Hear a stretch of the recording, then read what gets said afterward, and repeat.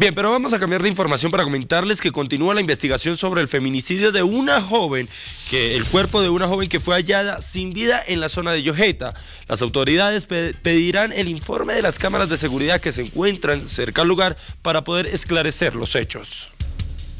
La joven hallada sin vida el fin de semana fue identificada por sus familiares. La misma responde al nombre de Fabiola Inés Laime y la última vez que habría tenido contacto con sus familiares fue el día viernes cuando se despidió de su madre para salir a trabajar. El surco equimótico hallado en el cuello de la víctima dan cuenta que ella habría sido estrangulada y no se descarta que haya sido ultrajada. ¿Con qué la asfixian? ¿Con qué elemento, mancho? ¿Qué es lo que...? ¿Con los guatos, la madre? ¿Cómo se uh, Con un cordón.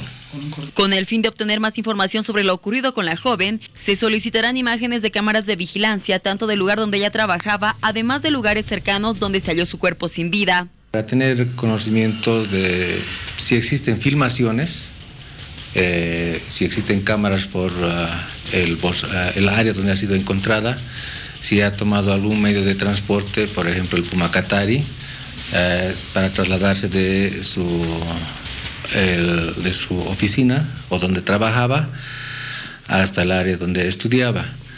Ah, también eh, las filmaciones de su trabajo.